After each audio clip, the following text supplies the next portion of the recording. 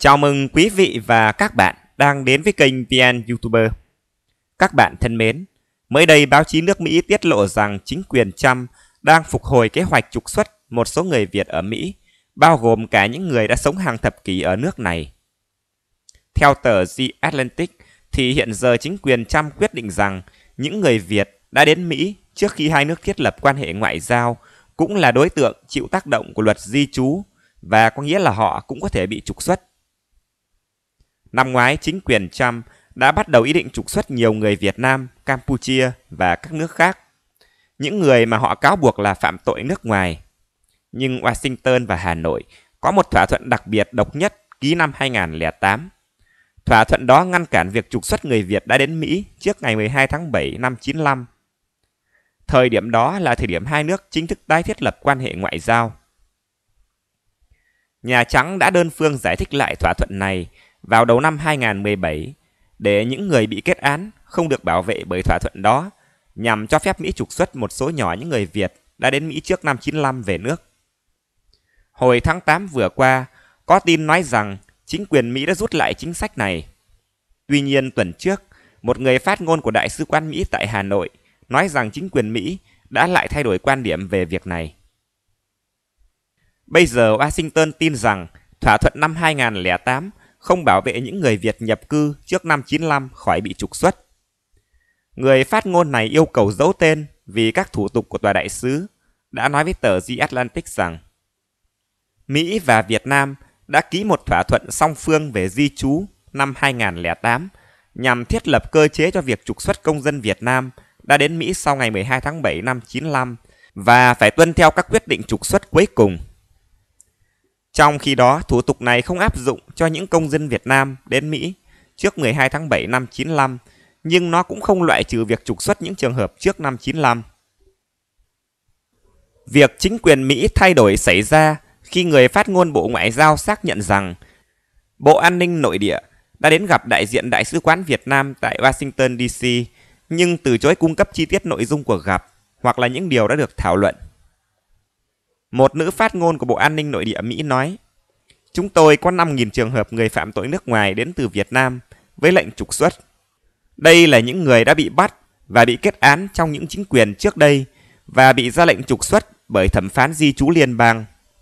Việc trục xuất những người phạm tội nước ngoài này về nước của họ là ưu tiên của chính quyền hiện tại. Sau tin tức đầu tiên đăng trên The Atlantic, trên tờ VOX, người ta phân tích rằng cách giải thích mới của chính quyền Trump đặt ra nguy cơ cho hai nhóm người. Một là những người bị mất tư cách pháp nhân vì bị kết các tội nghiêm trọng và thứ hai là những người nhập cư trái phép đến Mỹ từ sau năm 95 nhưng chưa bao giờ có tư cách pháp nhân hoặc là quyền công dân. Thưa quý vị, chuyện ép Việt Nam nhận lại người trục xuất không phải bây giờ mới có. Bằng chứng là theo thống kê của phía Mỹ, từ năm 98 đến nay, họ đã ra quyết định trục xuất hơn 9.000 người Việt, nhưng số thực sự bị trục xuất không có bao nhiêu vì Việt Nam không nhận. Từ khi ông Trump lên nắm quyền, ông ta ưu tiên giải quyết nạn nhập cư, cho nên vấn đề trục xuất người Việt mới lại nổi lên. Hồi tháng 4 vừa qua, chính quyền Trump đã yêu cầu đại sứ Ted Osius phải ép Việt Nam nhận lại những người bị trục xuất và từ đó dẫn đến sự từ chức của ông đại sứ này.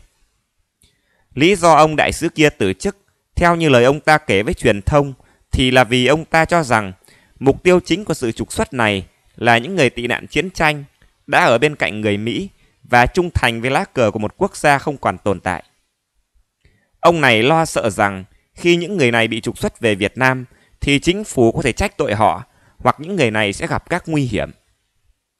Tuy nhiên, đây cũng chỉ mới là ý định đơn phương của Mỹ và nó đang gặp phải sự chống đối từ cả hai phía là Việt Nam và cộng đồng những người Mỹ gốc Việt.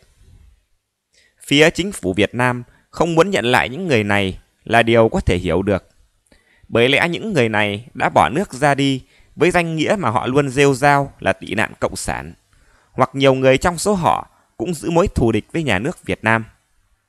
Mặt khác, không ai muốn nhận về nước mình những thành phần mà nước khác đã tuyên án phạm tội. Một xứ được ca tụng là thiên đường tự do, thế giới tự do như nước Mỹ mà còn không dung được những tội phạm như vậy và phải đuổi đi, thì Việt Nam không muốn nhận về cũng là điều bình thường. Ở một khía cạnh khác, Việt Nam có thể có những lo ngại liên quan đến an ninh quốc gia. Trước đây, một tờ báo nước ngoài có viết về một số trường hợp bị Mỹ trục xuất và Việt Nam đã nhận. Trong đó, có một chi tiết là một trong số những người đó nói rằng ông ta bị công an truy hỏi có phải người của CIA hay không. Điều này gợi ý rằng ngành an ninh Việt Nam lo ngại trong số những người bị trục xuất về có gián điệp do CIA tuyển mộ và huấn luyện. Điều lo ngại này không phải là thừa, bởi vì xưa nay khổ nhục kế vẫn là một kế phổ biến để cài cắm gián điệp. Mặt khác, ở Mỹ hiện nay lại còn có một số tổ chức công khai mục tiêu lật đổ chính quyền Việt Nam như Việt Tân chẳng hạn.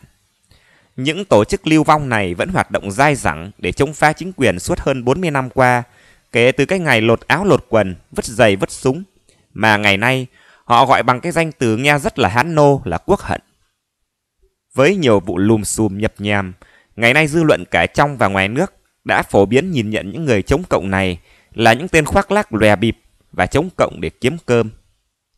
Tuy nhiên, chính khi cười những kẻ chống cộng bịp bợm để kiếm cơm thì chúng ta cũng cần phải cảnh giác vì hai lẽ. Thứ nhất là phải có cầu thì mới có cung. Có những người còn tư tưởng chống cộng thì những tổ chức như thế này mới có đất mà sống. Vậy những ai có nhu cầu chống cộng? Đó có thể là những người thuộc chính quyền và quân đội Sài Gòn chạy ra nước ngoài sau năm 75 và đầu óc còn nặng thù hận.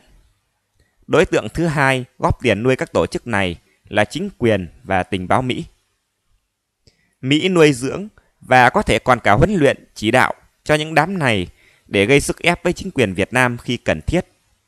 Mục tiêu cuối cùng của Mỹ là làm sao thò được bàn tay vào điều khiển chính quyền ở Hà Nội, biến tòa đại sứ quán Mỹ ở Hà Nội trở lại cái oai phong của tòa Nhà Trắng phương Đông như tòa đại sứ Sài Gòn năm xưa. Không phải ngẫu nhiên mà vừa qua, các tổ chức chống phá chính quyền lưu vong lại có thể gây ra được những vụ việc ầm ĩ như đốt cháy khu để xe máy vi phạm giao thông của cảnh sát giao thông Đồng Nai hay ném vật liệu nổ vào đồn công an ở thành phố Hồ Chí Minh hoặc là âm mưu cài bom ở sân bay Tân Sơn Nhất.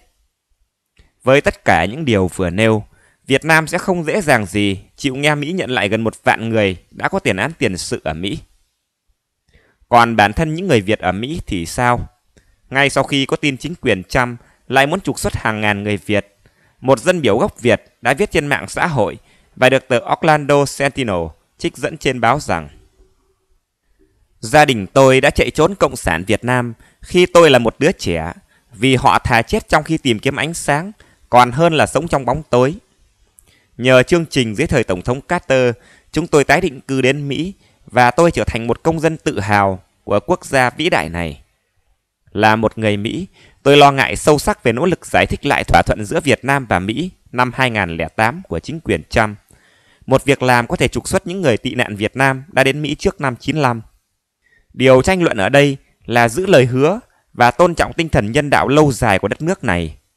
Tôi kêu gọi chính quyền Cham lưu tâm tới tác động của chính sách này tới hàng ngàn gia đình. Chúng ta có thể giữ cho nước Mỹ an toàn và tiếp tục giữ gìn giá trị cơ bản của nước Mỹ. Những lời to tát của bà dân biểu gốc Việt này đã phản ánh cách nghĩ cũng như sự lo ngại của nhiều người Mỹ gốc Việt. Không riêng những người đang trong diện bị trục xuất, những người khác có thể lo ngại về một tương lai bị trục xuất nếu chẳng may vi phạm một lỗi lầm nào đó. Nói tóm lại, nhiều người Mỹ gốc Việt tự cho rằng đã chạy nửa vòng trái đất để sang Mỹ trốn, cho nên nay nghe đến chuyện trục xuất thì dãy nảy như đỉa phải vôi. Còn chính phủ Việt Nam cũng chẳng có lý do gì để phải nhận như tôi đã trình bày ở trên. Thưa quý vị và các bạn, vậy thì liệu rằng sự việc rồi sẽ đi tới đâu? Điều đó thật sự là khó để đoán định. Đây mới chỉ là động thái đơn phương của Mỹ. Theo phân tích của tờ VOX, nếu chính phủ Việt Nam không đồng ý với cách giải thích lại thỏa thuận năm 2008 của Mỹ, thì lập trường mới của chính quyền Trump cũng không thể trở thành thực tế vì họ không thể đơn phương trục xuất người. Ngoài ra, còn phải tính tới sự phản đối trong chính nội bộ chính quyền Mỹ với động thái này. Vừa qua Đảng Dân Chủ đã thắng thế ở Hạ viện, ông Trump khó lòng muốn làm gì thì làm. Tuy nhiên nhiệm kỳ của ông này vẫn còn 2 năm, sự việc này do đó sẽ còn phức tạp. Có lẽ rồi sẽ có nhiều người Việt oán trách chính quyền Mỹ là thất hứa. Nhưng nước Mỹ là như vậy. Bài phát biểu với lời lẽ trách móc Mỹ bỏ rơi của Nguyễn Văn Thiệu năm 75 cũng chẳng làm được gì nhiều ngoài việc làm sáng tỏ một triết lý của người Mỹ rằng họ không có bạn bè, họ chỉ có đồng minh. Chương trình hôm nay xin tạm dừng tại đây. Cảm ơn quý vị đã quan tâm theo dõi. Xin chào tạm biệt và hẹn gặp lại.